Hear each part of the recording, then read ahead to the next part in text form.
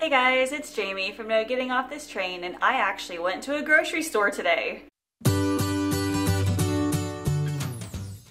So the past couple weeks have been extremely busy for us. Uh, whether it's just running around doing errands, I have work to do, Allison had the flu the week before, so I had been relying on Walmart's grocery pickup for most of my groceries, which means I really hadn't set foot in an actual grocery store to do actual grocery shopping in quite a while. So I was really excited to be able to go to both Aldi and Meijer in one day for our shopping trip. I also visited Mr. Max grocery outlet, which I'll show you in a little bit as well. I don't know about you, but one problem that I am having having right now is trying to stay under my grocery budget. We have an $85 a week grocery budget and I do really good at staying right around there, but my problem is I'm trying to feed my family healthier food now. I'm trying to give us more whole foods and try and stay away from a whole bunch of sugar. I just feel like it's a whole lot better for us health-wise. I've been kind of watching what I eat recently, adding more vegetables and protein, and I feel amazing.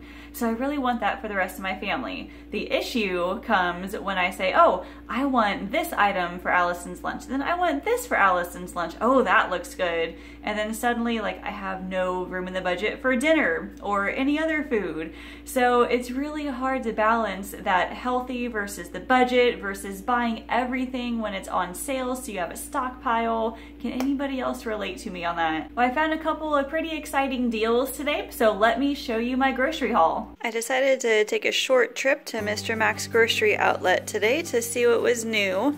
Uh, the main reason I went was for these Kodiak cakes. These are the frozen actual pancakes for only $1.25. Um, this has 12 in there, so I bought two of them for my breakfast for the week. And then also Allison wanted some more snack bars. The kids' Larabars are her favorite, and she likes the mint chocolate. And then also I got a box of the Annie's cookie dough protein bars. They have a chocolate flavored one too, but she likes the peanut butter. Uh, this one I found and it looked pretty interesting. Uh, these are the Birds Eye cauliflower fries. I am trying to get Allison to eat vegetables and hopefully these will trick her into thinking they're french fries. I don't know. She's pretty smart. I also found these Garrett Valley turkey sticks. These are hot and spicy turkey snack sticks, and they were only 25 cents. So I grabbed a couple of those for my snacks. I needed some more K-Cups, and they had the Starbucks Blonde Sunrise Blend. I have not tried this yet, so if you have, let me know how it is. And then I found these Quaker Kids Organic Whole Grain Bites. I believe they're just packages of like little cookies maybe, but there's five in here, so for a dollar I thought I'd try it. And then also a box of Barbara's Puffin cereal for $2. As you can see, most of this was for Allison, but I found a couple new things, some things that she'd enjoy, things that I would enjoy. So overall, for about $16, I'd say this was pretty awesome. I am back from Aldi and Meijer. It felt really good to be able to go inside a grocery store and do all my shopping in there, be able to look around. So let me show you everything that I bought. Picked up a bag of uh, three pounds of Red Delicious apples. I'll use these like for snacks and desserts. Have some strawberries for Allison's lunch. These were only $1.89 this week, which was awesome. Got some string cheese for her snacks and her lunches. Grabbed a huge pack of cauliflower. I'm to roast this up as a side item for next week. I also bought sour cream, jalapenos, and salsa, where I'm taking that to small group. We're having tacos. I have some olives for a recipe, some yogurt for some snacks. Grabbed a bag of spinach, a bottle of hot sauce. I'm making buffalo ranch meatballs for dinner one night this week. Some more half and half. I have bananas, some hummus for Allison's lunch. I bought some pita chips last week and forgot to buy hummus for it, so this is for that. A package of ranch seasoning to go with those buffalo ranch meatballs. Some dark chocolate chips because we were out. I bought some just plain goat cheese. So I'm going to be using the goat cheese, the cucumbers, the um, grape tomatoes, and then those olives. I'm making a chicken quinoa like Greek salad, I guess you could call it. So I'm using all of that for that particular recipe. And I bought some turkey snack sticks for myself. Now these buns right here, I don't know if any of you are part of the Aldi Nerd Facebook group, but these people go crazy over these buns. Apparently, they are necessary to make the copycat Chick fil A sandwiches. I have not tried these yet, nor have I tried that red bag of frozen chicken patties, which I don't think my store had today, but I will let you know how these are. And then I also bought some cottage cheese, and then a bag of frozen berries. I'm gonna be using these in my pancakes, or on my pancakes. I bought some Kodiak cakes. These will go on top. I'll just defrost them in the microwave. And then a gallon of milk. And then here is a box of mini cheese sandwich crackers.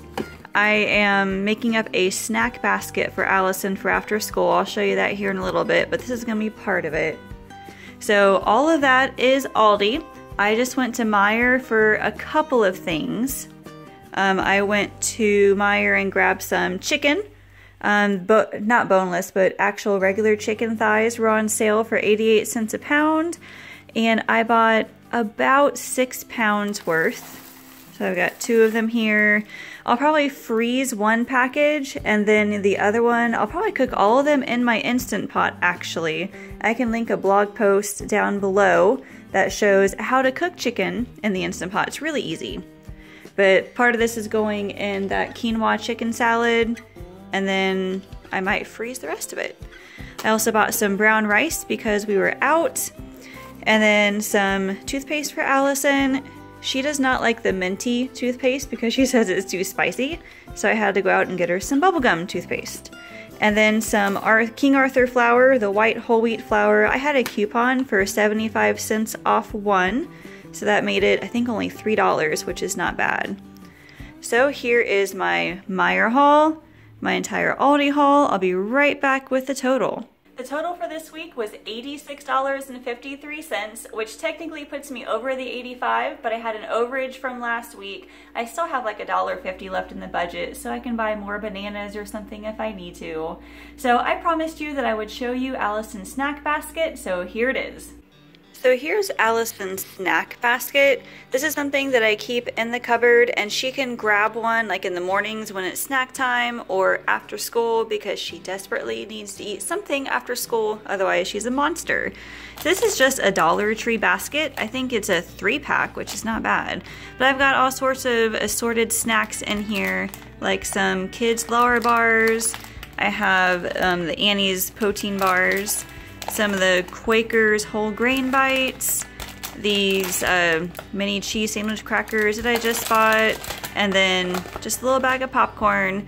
But like I said, this is in the cupboard for her to grab whenever she wants. I also want to put one in the fridge with string cheese and yogurt and other healthier snacks. That will come later and I'll show you when it comes. But this has helped so much because she can just grab a snack when she wants it. Alright, let's go over the meal plan for the week. As you can see, mom brain, I got the two days mixed up. So Sunday is actually supposed to be small group. We are having tacos. So like I said before, I am bringing the sour cream, the salsa, and the jalapenos. I'm also making some Spanish rice and some Mexican lentils. I already have the lentils in the pantry.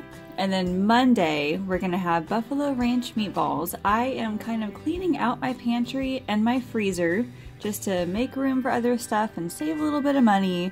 I've been buying so much stuff from my grocery outlet store. It has been amazing, but I keep forgetting to use it. So I bought the meatballs from there a couple weeks ago and I bought some buffalo, well, hot sauce. I'm gonna mix it up with a ranch packet, probably put it in the slow cooker for a little bit. I am serving this with the Pioneer Woman sweet potato and kale casserole. It's a frozen dinner and I also got that from the outlet store. I really want to know how it tastes. I'm also making some roasted cauliflower to go with it. Tuesday, I am pulling out my last package of Aidells chicken apple burgers. I'm going to have those on those buns that I got from Aldi. We're also serving this with cauliflower fries, which I also got from the grocery outlet store and then some frozen veggies to go with it. Wednesday, I'm going to be using some of those chicken thighs that I bought. I'm going to bake them in the oven and I'm going to serve them with some Annie's mac and cheese I found in the pantry and some frozen broccoli. Thursday is a chicken quinoa salad. It's going to be kind of like a Greek version. I have quinoa in the pantry, so I'll shred up some chicken, serve that together with the grape tomatoes and the olives, the cucumber. I have some balsamic vinaigrette or vinegar that I'll probably put in there too. And then I'll uh, sprinkle some of the goat cheese on top. Should be pretty good. And then Friday, we're having waffles. I know it's a big change from the pancakes. I haven't made pancakes in forever, to be honest with you and I was getting tired of writing pancakes, so I'm gonna change it up and we might or might not make waffles, depending on how many leftovers we have. And then Saturday will be a leftover night, maybe, if we have a lot of these. Um, if not, I will figure out something. But then that's dinner. As far as breakfast goes, I am eating the Kodiak cakes that I bought at the grocery outlet I am microwaving some of the frozen berries to put on top, and I'll probably have some cottage cheese to go with it. Um, I just did a freezer cooking session last week, and you guys get to see it here on Friday, so look forward to a video on that. But I made some banana bread baked oatmeal, I made some breakfast pizzas, and I made pancakes. I know I lied, I said I haven't made pancakes in forever, but I did make pancakes for breakfast. I put all those in the freezer, so we'll just get them out one at a time. And then also some cereal for Allison. And lunch is always leftovers, of course, and I have stuff for Allison for her lunches. By the way, while I was cleaning out my pantry, I also found four four jars, um, two pumpkin butter and two apple butter. And I got some really good ideas from my friends on Instagram on how to use them up. But besides like putting them on toast, what ideas do you guys have for using up all this um, fruit butter? I would like to get it out of my pantry as soon as possible and maybe make some good delicious baked goods with it. Hey, let me know. I hope this has inspired you guys with your own grocery budget and your own shopping habits. Hopefully you got some new ideas for dinners or breakfasts. If you like that meal planner that I was using, I've got a link in the description below. It's totally free for you to grab it. Also, I've included any links to recipes down in the description as well so you can check those out. Also, be sure to subscribe to my YouTube channel so you can get updated on when I post more grocery hauls, more recipes, and more meal planning tips. Thank you all so much for watching, and I'll see you later.